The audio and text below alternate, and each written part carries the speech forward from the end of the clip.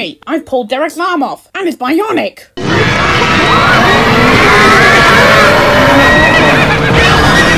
You're no robot! These aren't what advertised on the telly! You are cheating!